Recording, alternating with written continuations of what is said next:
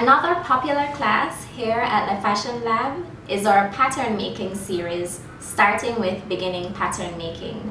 So why take pattern making with us? The thing is, if you take pattern making at a college level, what's going to happen is that you're going to have to take so many prerequisites. And if you just want to dive headfirst into fashion, it's not very appealing if you have to take Spanish, and religion and all these other fluff classes just to get to where you want to be. So come to the Fashion Lab and take our beginning pattern making class and you'll be able to jump right into it. What can you expect? You can expect that you'll learn a variety of different pattern making techniques to make different bodice types and shirts, sleeves, pants and skirts, and a variety of other things including colors, etc.